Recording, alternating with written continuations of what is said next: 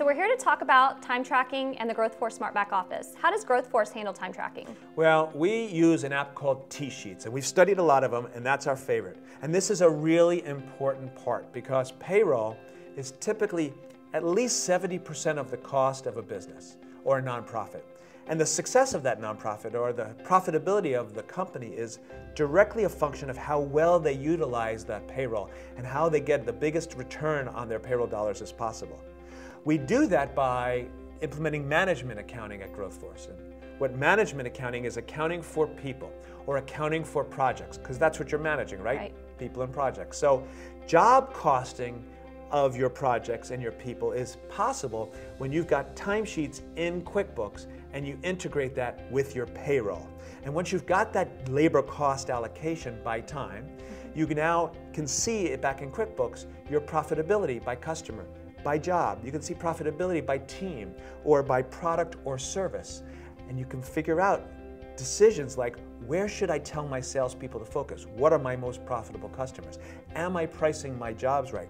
What's my return on investment on my marketing spend? Where do we get the biggest ROI? So why TSheets? Why not some other app?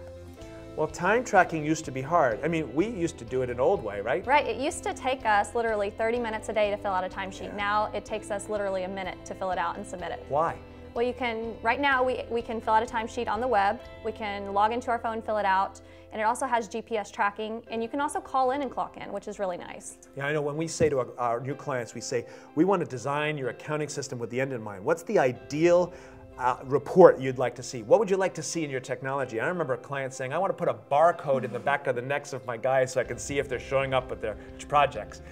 And with TSheets, we actually kind of have that, right? Right, they have GPS tracking. So their employee clocks in and you can actually log into TSheets and see where they are. So now you can get that time back inside QuickBooks. And when you integrate it with payroll, you now have time-driven activity-based costing, which means you can see your labor costs by customer, by job, by service item, and get that back in QuickBooks to see profitability by customer, job, service item, and profit. That's pretty cool. Right, very cool.